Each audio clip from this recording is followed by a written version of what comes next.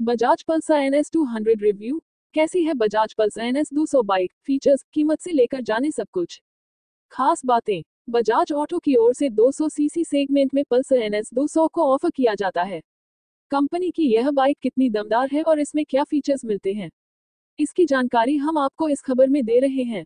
भारत की प्रमुख दो पहिया वाहन निर्माता बजाज ऑटो की ओर से 200 सीसी सेगमेंट में पल्सर एन एस को ऑफ़र किया जाता है। हम इस खबर में आपको बता रहे हैं कि कंपनी की यह बाइक किन खूबियों के साथ आती है, कितनी क्षमता का इंजन इसमें दिया गया है और जिस कीमत पर इसे खरीदा जा सकता है, क्या उतनी कीमत में एन एस को खरीदना फ़ायदे का सौदा साबित होगा?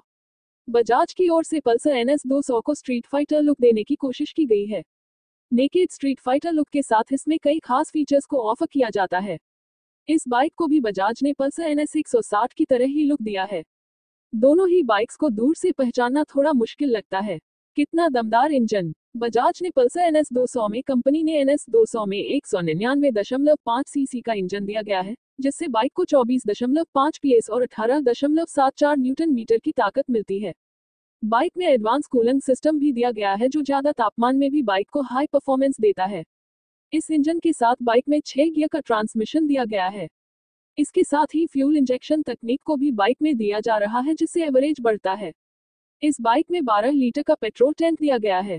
जानकारी के मुताबिक इस बाइक को एक लीटर पेट्रोल में 35 से 40 किलोमीटर के बीच चलाया जा सकता है। बाइक की खूबियों की बात करें तो इसमें सेमी डिजिटल स्पीडोमीटर दिया गया है, जिसे तीन हिस्सों में बांटा गया है। लेफ़्ट साइड में neutral light, engine check, headlight, battery जैसी ज़रूरी चीज़ों की जानकारी दी गई है। बीच में आरपीएम मीटर को एनालॉग रखा गया है और इसमें फ्यूल की जानकारी दी गई है। इसी में एबीएस की जानकारी भी मिल जाती है और राइट साइड में इसकी जानकारी मिलती है कि बाइक को किस गियर में चलाया जा रहा है। इसके साथ ही इसमें समय स्पीड किलोमीटर की जानकारी भी मिलती है। अगर बाइक को ज़्यादा आरपीएम पर चलाया जाता है तो एक निश्चित आरपीएम पर पहुँचने के बाद इसमें आरपीएम लिमिट की लाइट जल जाती है, जिससे राइडर को इस बात की जानकारी मिल जाती है कि आरपीएम को कम करने की ज़रूरत है। इसके साथ ही राइड क्वालिटी को बेहतर करने के लिए कंपनी ने इसमें मोनोशॉक सस्पेंशन को भी दिया है। जिससे मोड़ पर बाइक चलाते हुए राइडर को शानदार कंट्रोल मिलता है। कैसी है परफॉर्मेंस? बजाज की ओर से परफॉर्मेंस सीरीज़ के तौर पर एन सीरीज़ को ऑफ़र किया जाता है। इस सीरीज़ की यह बाइक 200 सीसी इंजन के साथ मिलती है।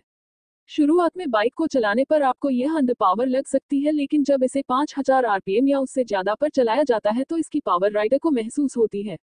5000 आरपीएम के बाद बाइक काफ़ी अच्छे से चलती है और इसी कारण यह बाइक उन्हें काफ़ी पसंद आएगी। जो बाइक से लंबे सफ़र करना पसंद करते हैं।